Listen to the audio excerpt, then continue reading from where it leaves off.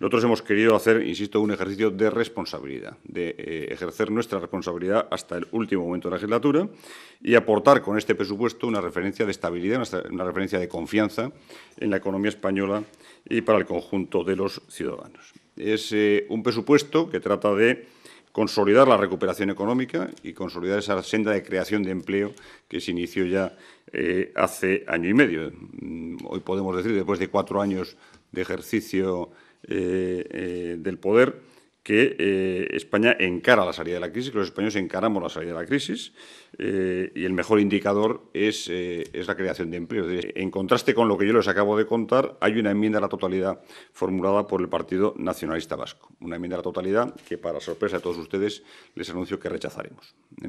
Quiero decir que, bueno, hay tres motivos en ese folio escaso con el que despacha el PNV eh, la, enmienda, el, el, presupuesto de 2016.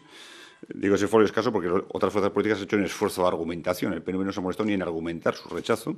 Y os dan tres motivos que son tres excusas insostenibles frente a ese presupuesto. Cuando me digas...